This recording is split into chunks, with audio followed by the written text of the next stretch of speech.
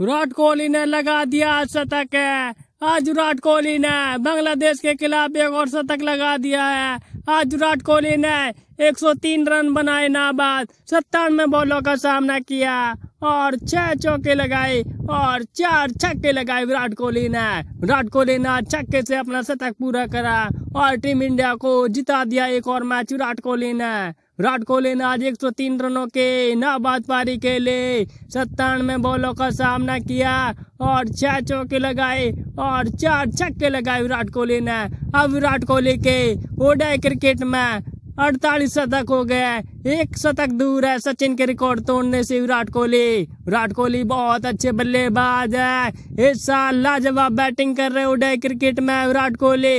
आज विराट कोहली ने एक और शतक लगा दिया है।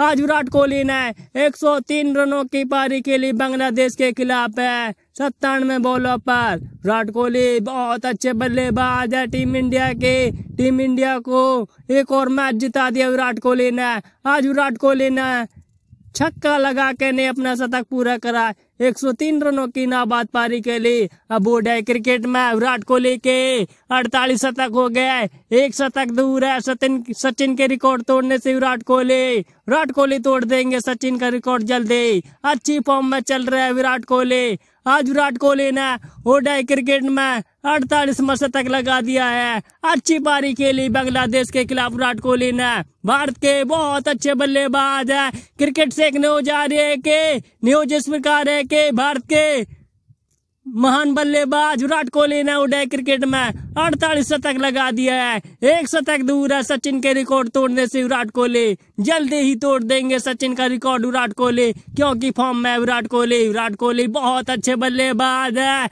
अच्छी बैटिंग कर रहा है। थैंक यू वेरी मच दोस्तों।